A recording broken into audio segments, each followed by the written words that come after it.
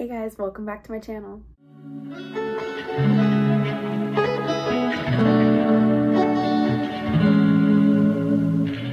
So today we're gonna be doing a get ready with me and kind of chat and just kind of an update because as you guys know, I think it's been like literally seven months since I've been on here and so much has changed. I feel like hopefully I've changed. I feel a little bit weird doing this because I haven't done a video like this in so long, but I'm really excited. To start, I'm going in with my Ultra Repair High Ultra Repair Hyaluronic Hydrating Primer. This is my holy grail now. I'm obsessed with it. I will say it is really weird filming a YouTube video versus a TikTok because TikTok has been all of the rage right now. I have been trying to post a lot on there. The reason I've been so inactive lately on YouTube is because I did not have any storage on my old phone. I literally had to get a brand new phone just so that I could film videos. That's how much I love filming videos for you guys. I just couldn't take it anymore. So I'm going in with my Patrick Ta palette. Whoa, you can see me. And I have been working with them for a while and I'm absolutely obsessed with their products. I have so many of their different products. I think I have like almost everything. I think this palette is my favorite. Look at the colors on this thing.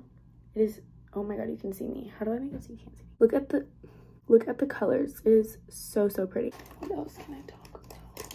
I am finishing off my senior year in college, which is absolutely crazy to me. Before you ask, I don't know what I'm doing after college. I mean, I have like a subtle idea of what I want to do, but I don't have any plans, um, which is slightly terrifying, but I know it is just a part of the process and everything's going to be fine. I have been doing this makeup look for I don't even know how long. I think since all of college. It is just like my go-to cute clean girl makeup look. I always start with my eyes first so that I can clean everything up with foundation and concealer and then it kind of allows for me to be a little bit messier when I'm doing my eyeshadow. If you guys are confused why I'm putting tape on my eyelid, I totally forgot to say something about that, but it gives you this like perfectly crisp line. That's why I'm doing that. I don't know if you guys have been seeing the Charlotte Tilbury that went viral and then the e.l.f that went viral, the e.l.f. I don't even know what it's called. It's like a luminescent something. I have been trying to get my hands on it for so long. Lucky for me, my boyfriend got me this glow screen, which I've never used, but I know it's like one of those popular products. I have been putting this on underneath my foundation and it's so pretty and gives me the best glow ever. So look at that. It just gives the prettiest glow.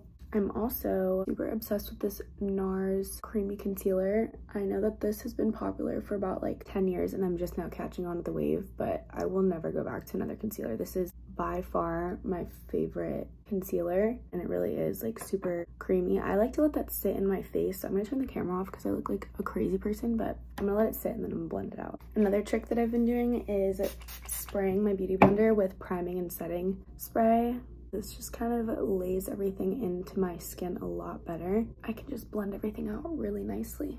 I'm so excited to show you guys like all of my tricks that I've learned. I've learned most of these honestly from TikTok. Like I've learned so many tricks from TikTok, which I hate to say, but they work really, really well and would have never learned them otherwise. I'm gonna show you guys my best contouring hack. This stuff is really, really pigmented, so I don't go in like how they do on TikTok, but normally you would draw a whole line and go straight down. Since this is so pigmented, I literally just do that and bear with me it's gonna look good in a second. Like wherever the lines go.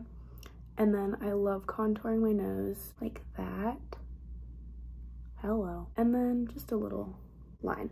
So once you look like a doll this is literally the head of an elf brush that I got like 10 years ago and I just have been too lazy to buy a new one. So I've just been using this one but I literally just start blending this up to give like a super chiseled look. Look at that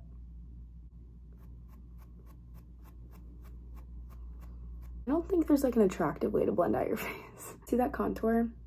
Perfect. That's exactly what you want. I don't know if you guys remember, I think I reviewed this on here. It's the NYX Wonder Stick. It's a highlight and contour stick. I literally never use the contour, but I do like using the highlight for when I contour my nose.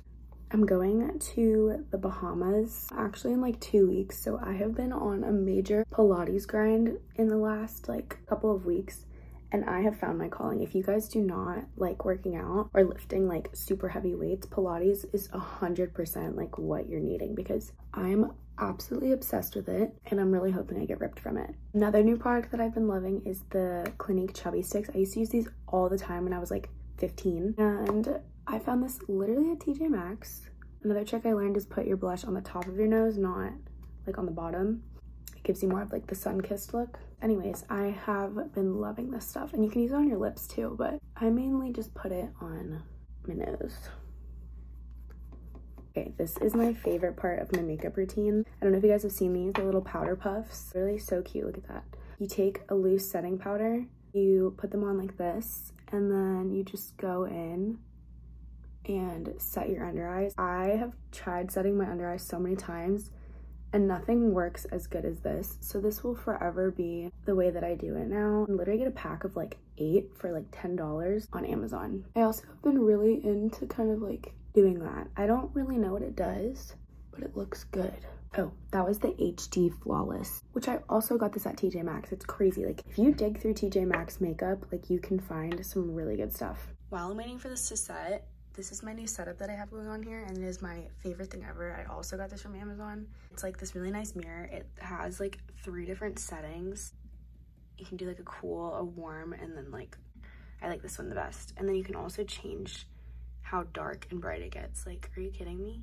So I was doing the little wax slash soap brows for a minute I think that this just looks better on my face shape. I love how some people do the soap brows, but I just, I look like I just woke up out of bed when I do it.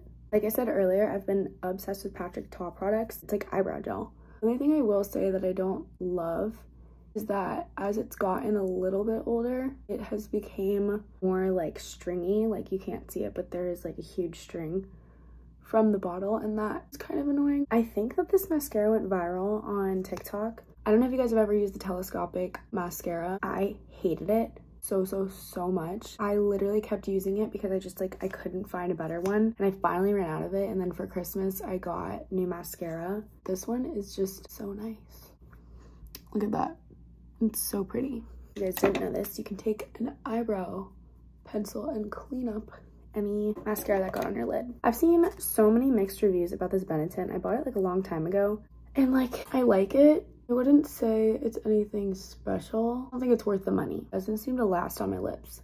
God, what did I just do? I've actually never tried this before. It's Extreme Shine Volume Lip Gloss by Essence. I love Essence, so I'm excited to try this. oh my god, that is really pretty. Okay, I think that is everything. This is the final makeup look. Let me get a close up for you guys to see. I feel like it's very flirty looking. I don't know. What do you guys think? I'm so happy to be back on YouTube. You definitely are going to be seeing more of me because now I have storage on my phone. So let me know if you guys have any requests of any videos you guys want to see. And I will talk to you guys next time.